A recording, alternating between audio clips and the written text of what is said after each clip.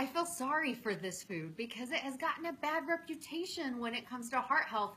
And I feel like it's unwarranted. I think that eggs are one of the best things you can eat. So I know a lot of times we used to say that all the protein's in the white, so only eat the white. There's one thing I want you to get from this video. It is eat the yolk. That's where more nutrition is than the white. So here's how the protein is divided.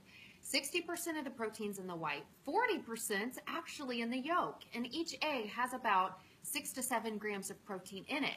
But here's the other thing. The yolk contains all four of the fat-soluble vitamins you need, A, D, E, and K. And I learned those in school as ADEK. A is used for anti-aging. D is our sunshine vitamin. E you need for good skin. And K you need to take calcium to your bones. All of those are vital.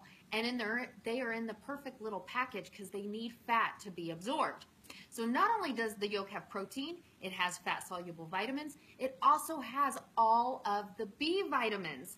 And there's eight to nine B vitamins that your body needs. One of those is biotin, which is used to grow your hair and nails.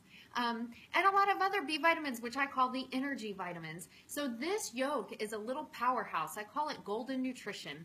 If you're worried about cholesterol, I hear ya, but the best way to lower your cholesterol is not by stopping eating cholesterol. Doesn't do the same thing. Cholesterol in food doesn't exactly equal cholesterol in the body. The best way to lower your cholesterol is to eat plenty of soluble fiber every day, to eat omega-3s, to use garlic. There's lots of other ways to lower your cholesterol. In fact, when we started to demonize eggs, was when cholesterol, when, when heart disease went on the rise.